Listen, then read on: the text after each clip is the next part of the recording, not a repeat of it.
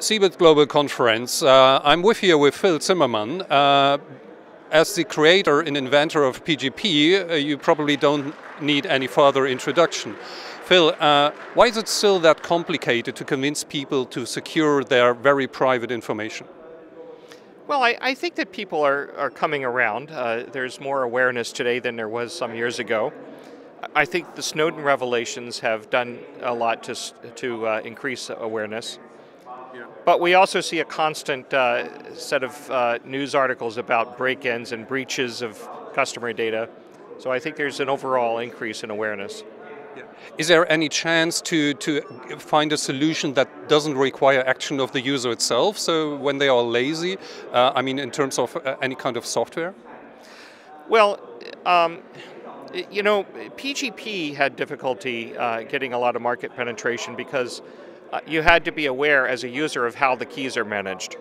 But it is possible to do secure telephony in a way that does not require the user to think about it. Uh, the stuff that I've been working on for the past decade uh, about secure telephony doesn't require the user to think about it much. You know, your mom could use it. Yeah. What surprises you the most if you think about privacy and the lack of privacy, and some people say this is the end of privacy? What's, what surprises you in that discussion? Well, overall, there's a there's kind of a gradual erosion of privacy that largely comes from, I guess I would have to say, Moore's law, uh, because as we become more and more uh, plugged into uh, the internet and and where computing power increases, encroachments of our privacy uh, increase gradually.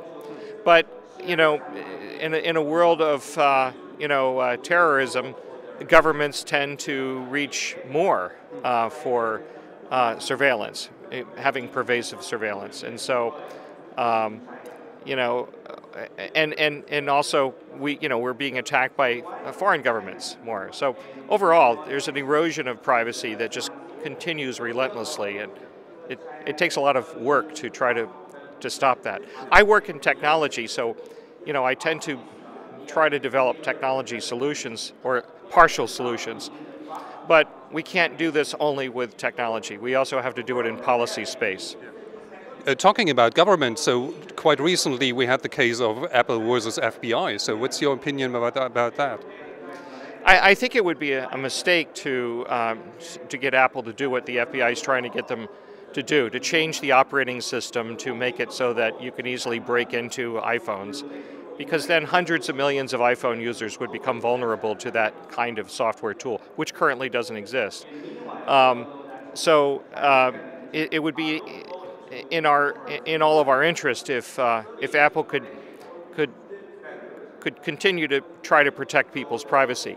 I mean, the, as time goes on, we're we're under constant attack. You know, our, our data is under constant attack, um, and we're doing all that we can to try to repel those attacks, but it's a it's kind of a lopsided um, battlefield.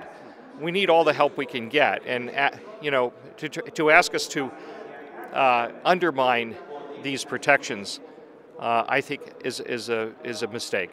Uh, we, we, will we will uh, make ourselves vulnerable to attacks from uh, you know China to Russia to to you know to other uh, to, to criminal organizations. Uh, Phil thank you very much.